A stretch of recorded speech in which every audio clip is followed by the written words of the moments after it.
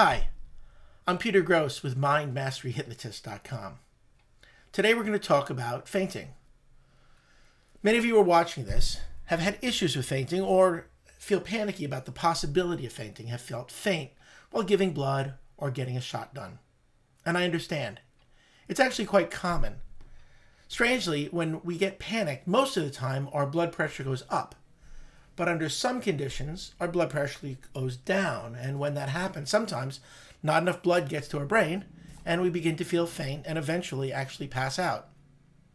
The good news is there's proven techniques to keep you from letting this happen. So, let's find out what they are.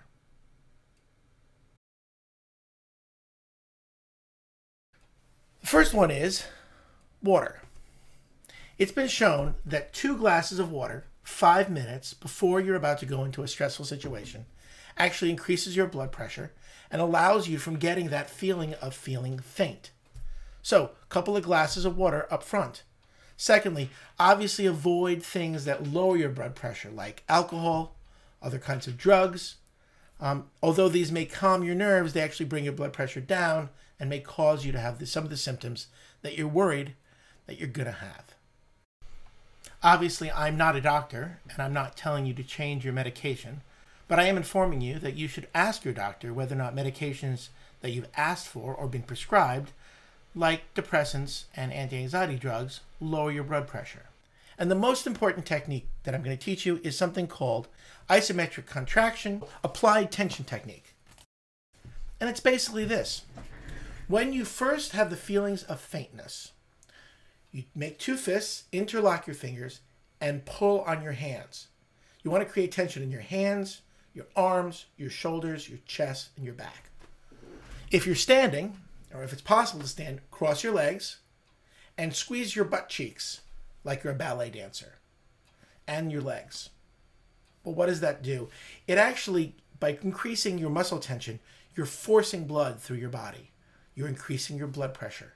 That increases the blood pressure to your brain and brings your brain plenty of fresh oxygen. You do this for as long as you feel faint. Now, this has been around for a while, but it was only in 2002 that they studied the results. And what were they? Well, the college, American College of Cardiology found that this technique, applied tension, was 99% effective. 99% effective in solving faintness and fainting. So, avoid alcohol and other depressants. Drink two glasses of water five minutes before you're about to do something that might make you feel faint. And apply tension technique if you begin to feel the feelings. Now, these are the physical things you can do. As a hypnotist, I also believe it's important to address the underlying reasons for your panic and anxiety. I'm excited to work with you teach you tools and techniques to lower your stress and panic around getting a shot or having blood drawn. It's what I do. But if you have specific questions, please leave them in the comments below. You may want to consider subscribing to this channel so you can see future videos.